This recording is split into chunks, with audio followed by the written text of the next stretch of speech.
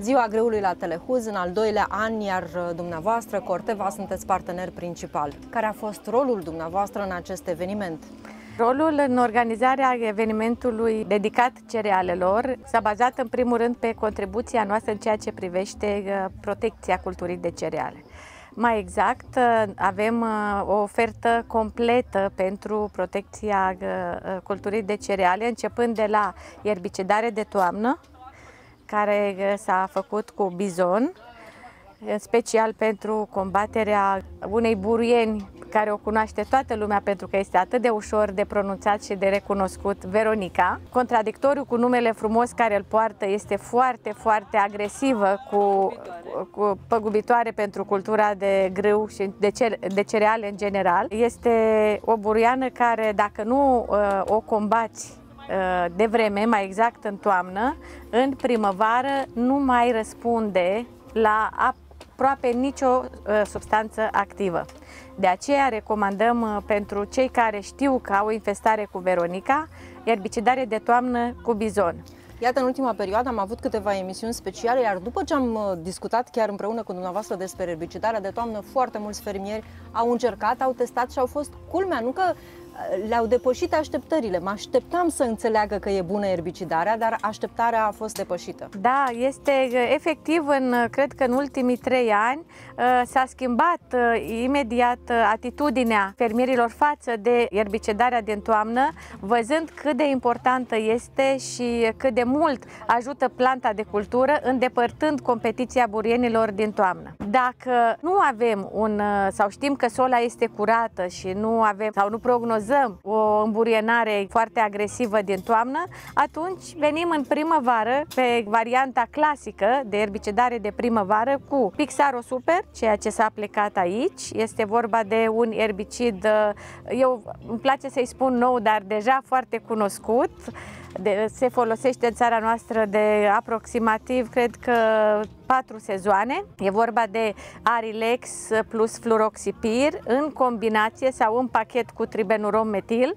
Este un pachet pentru 3,5-4 hectare în funcție de spectru de burieni și uh, dacă uh, suntem într-o zonă în care avem îmburienare în cultura de cereale cu burieni graminee, cum este firuța, cum este um, avena, iarba vântului, da, și bromus, care e cea mai uh, greu de combătut, atunci trebuie să alegem un erbicid cross-spectrum care combate atât mono cât și dicotele donate. Și alegerea o fac fermierii între Floramix sau Palas. În ultima perioadă, și vorbeam și cu domnul Andreea Stelehus puțin mai devreme, vorbeam despre numărul de dăunători de anul acesta, poretutindeni în toate câmpurile. Da, este o mare problemă cu lipsa neonicotinoidelor la tratamentul semințelor de cereale. Pentru Inclusiv este... la grâu a, aveau efect asupra afidelor. Deci tratamentul la sămânță proteja cultura și împotriva afidelor. Nemai având această, această soluție, atunci cultura de grâu este invadată de afide. Am venit și avem transform acest uh, uh sulfoxaflor ca și substanță activă, care este aficid 100%, este cel mai performant produs, doar că și această substanță activă este în discuție să fie interzisă la culturile de câmp, rămânând doar pentru culturile protejate. Cu toată influența și cu tot ajutorul fermierilor care uh, au făcut scrisori către Uniunea Europeană și uh, se luptă pentru a menține această substanță activă, este posibil să o pierdem. Și dacă o pierdem, rămânem cu, la cultura de cereale fără insecticide. Deci e... Uh... Insecticidele suferă cel mai mult de toate aceste ex- reglementări Exact, și exact, exact. Se elimină substanțe active, se elimină insecticide, neavând înlocuitori. Nimeni nu, nu este împotriva uh, acestor, uh, să spunem, reglementări, dar trebuie să avem grijă să avem înlocuitori, pentru că altfel ne, uh, unele zone din Europa, cum este și România, unde uh, clima și ajută dezvoltarea dăunătorilor foarte mult, putem să ne compromitem culturile din cauza faptului că nu avem cu ce să combatem dăunătorii. Către ce se îndreaptă cercetarea în compania dumneavoastră? Vrem fungicide, vrem insecticide, cu ce? Bineînțeles că nicio companie nu bate pasul pe loc în ceea ce privește uh, inovarea, inovarea și descoperirea de noi uh, soluții pentru. Dar acestea nu se, nu, asta nu se poate întâmpla de la o zi la alta. Dacă ai descoperit un, o substanță activă nouă, durează cel puțin 10 ani până o înregistrezi la nivel european, după care alți 4-5 ani până ajungi să o înregistrezi în fiecare țară. Deci, ca drept dovadă, de la descoperirea substanței active până iar putea să ajungă la noi, sunt 10-15 ani de așteptare. Așteptare care uh, ne costă pe toată lumea se lucrează, Corteva are cel mai mare număr de substanțe active în așteptare de a fi aprobate în Uniunea Europeană. Avem uh, fungicide noi, cum este Inatrecu, care așteaptă, a fost înregistrată substanța activă în Anglia, acum se urmează produsele, înregistrarea pe produselor de. pe bază de uh, Inatrec. Deci, durează, durează, durează. Dar întorcându-ne, deci, ieșind din zona insecticidelor, unde există într-adevăr o problemă, pe partea de fungicide eh, lucrurile se întâmplă un pic mai repede. Ca drept dovadă, eh, chiar dacă la anul un, unul din fungicidele care ocupă cea mai mare suprafață din România, Evolus, nu va mai fi uh, uh, disponibil pentru că deja uh, anul acesta s-au epuizat toate stocurile și stocul trebuie să fie zero. Deci orice litru rămas trebuie distrus pentru că este, va fi interzis din sezonul următor. L-am înlocuit deja. Am venit imediat cu verben. Acest verben care l-am aplicat și uh, aici, în, uh, în ferma domnului uh, Telehuz, este un fungicid extraordinar de eficient pentru aplicare ca și prim tratament la cereale. De ce? Pentru că are în compoziție cea mai bună substanță activă, cea mai eficientă substanță activă pentru făinare.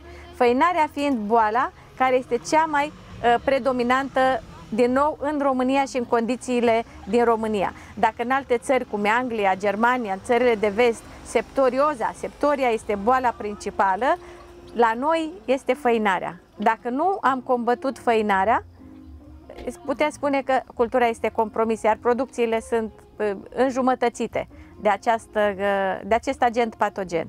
Am aplicat în această uh, parcelă Pixaro Super ca și erbicid, am aplicat verben fungicid ca tratament 1 și bineînțeles a fost nevoie de al doilea tratament pentru septorioze, fuzarioze, care l-am acoperit cu Evolus, Evolus care, din păcate, nu-l vom mai avea anul viitor.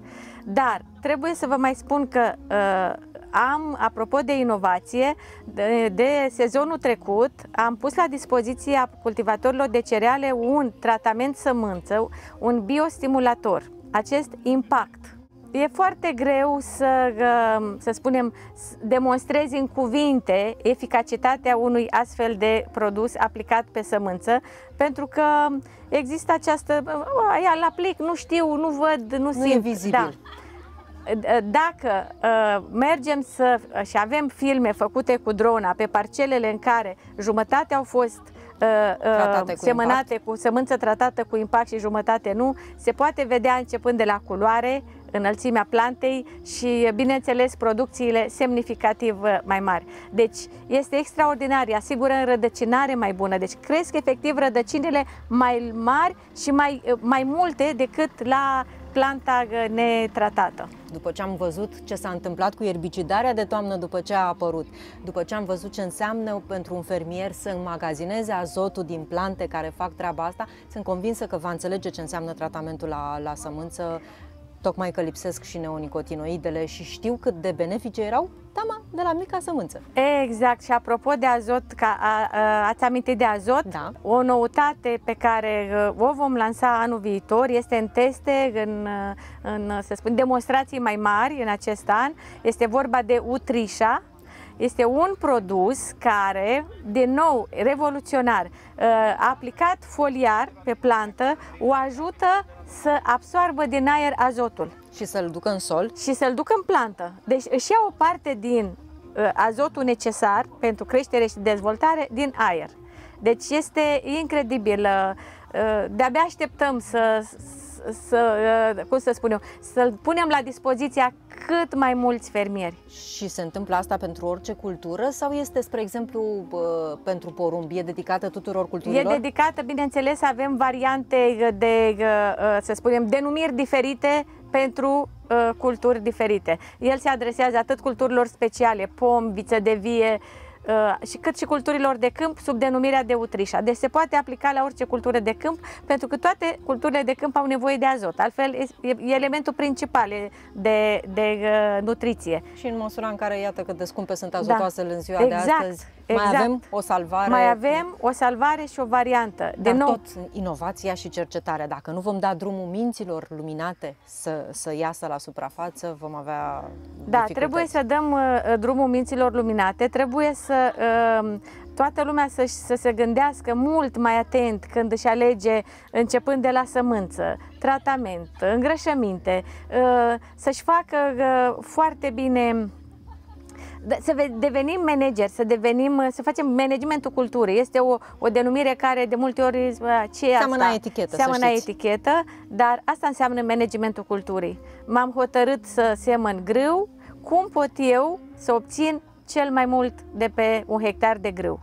Și mă duc și mă, mă, mă instruiesc, întreb dacă nu știu am aflat, sunt reviste, sunt acum toată comunicarea care se face pe online la îndemâna tuturor. Dacă nu, sun și întreb și aflu să pot să uh, uh, câștig mai mult. Să eficientizez. Să efi- eficientizez cultura respectivă.